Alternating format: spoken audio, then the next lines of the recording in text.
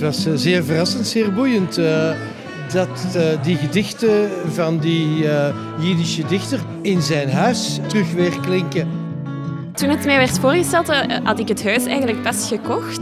En ik vond het eigenlijk super tof en interessant om meteen ook de geschiedenis mee te krijgen. En uh, de mensen ja, daar ook van mee te laten genieten. We komen hier dikwijls voorbij gefietst eigenlijk en we hadden ook al heel vaak de bunkers uh, gezien in, de, uh, in, het park. Ik wist ergens dat het stadspark wel iets, een, een, rol van betekenis had gespeeld. Dus dit was eigenlijk de perfecte gelegenheid om eens te komen luisteren en om een beetje meer te weten te komen.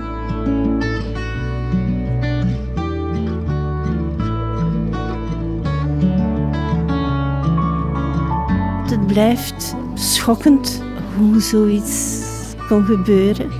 En ik vind het van, van uh, enorm belang dat wij die herinnering echt levendig houden. Dus uh, ik vind dit een schitterend initiatief. Ik ben hier vandaag om het verhaal te vertellen van Norbert Vos en zijn pleegvader Emiel Vos. De mensen in de zaal voelden wel dat het verhaal plots heel dichtbij kwam.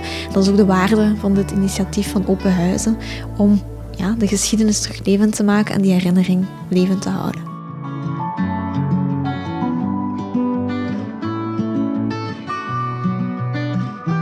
Ik vind Open Huizen een superbelangrijk initiatief. Ik heb daar vorig jaar zelf aan meegedaan en een open huisvertelling gedaan. En ik was dus heel vereerd dat ze mij vroegen om nu het evenement een beetje aan elkaar te praten. Omdat ik heel nauw betrokken ben op het thema. Omdat ik in de buurt Zurenborg woon, waar ja, helaas heel veel Joden zijn gedeporteerd uh, tijdens de Wereldoorlog.